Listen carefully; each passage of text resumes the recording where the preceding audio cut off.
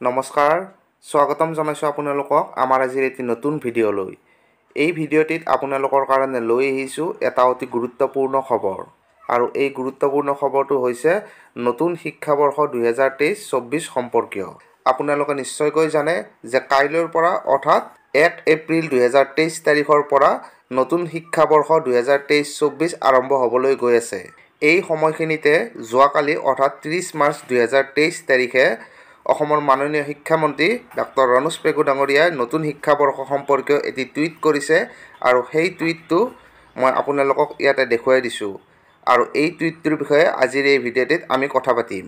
ইয়াতে আপোনালোকে দেখা পাইছে এইটো হৈছে ৰণোজ পেগু ডাঙৰীয়াৰ এটা টুইট আৰু এই টুইটটো তেখেতে কৰিছে ত্ৰিছ মাৰ্চ দুহেজাৰ তেইছ তাৰিখ অৰ্থাৎ যোৱাকালি।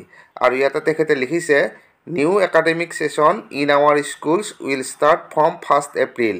First week consist of Utsav Vidyarambh as per the academic calendar formal classroom transactions will begin on tenth April as earlier years students will receive free text book in the first week of April ইয়াতে তেখেতে কেইবাটাও গুৰুত্বপূৰ্ণ কথা কৈছে বা আমি ঘোষণা বুলিও ক'ব পাৰোঁ। ইয়াতে তেখেতে কৈছে যে নতুন শিক্ষাবৰ্ষ কাইলৈ অৰ্থাৎ ফাৰ্ষ্ট এপ্ৰিলৰ পৰা আৰম্ভ হ'ব। First week consist of Utsav Vidyarambh as per the academic calendar. আপোনালোকে নিশ্চয়কৈ গম পায় যে উৎসৱ বিদ্যাৰম্ভৰ যিটো কাৰ্যসূচী আছিল সেই কাৰ্যসূচী পোন্ধৰ মাৰ্চ তাৰিখৰ পৰা এক এপ্ৰিললৈকে দিয়া হৈছিল। কিন্তু এই ঘোষণাটোত তেখেতে কৈছে যে ফাৰ্ষ্ট উইক অৰ্থাৎ প্ৰথম সপ্তাহটো উৎসৱ বিদ্যাৰম্ভৰ কাৰ্যসূচীসমূহে আমি কৰিব লাগিব। আৰু লগতে তেখেতে এটা ঘোষণা কৰিছে যে formal classroom transaction will begin on tenth April অৰ্থাৎ আমাৰ বিদ্যালয়সমূহত যি নিয়মিত ক্লাছৰুম ট্ৰেনজেকশ্যন বা নিয়মিত পাঠদান সেই পাঠদান আমি কৰিব লাগিব দহ এপ্ৰিল তাৰিখৰ পৰা। এইবাৰ নতুন শিক্ষাবৰ্ষত আমি দহ এপ্ৰিল তাৰিখৰ পৰাহে নিয়মিত পাঠদান কৰিব লাগিব আৰু এপ্ৰিল মাহৰ প্ৰথমটো সপ্তাহত আমি উৎসৱ বিদ্যাৰম্ভৰ কাৰ্যসূচীসমূহ চলাই নিব লাগিব।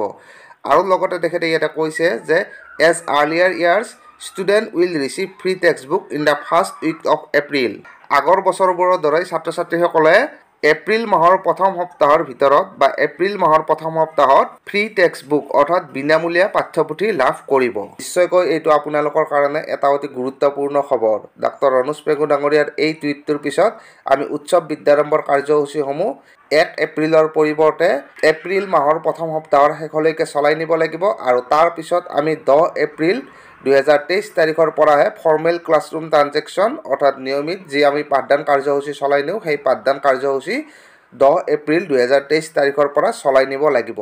আৰু লগতে ছাত্ৰ ছাত্ৰীসকলে এপ্ৰিল মাহৰ প্ৰথম সপ্তাহত বিনামূলীয়া পাঠ্যপুথি যি ফ্ৰী টেক্সট বুক থাকে সেই ফ্ৰী টেক্সট বুক লাভ কৰিব।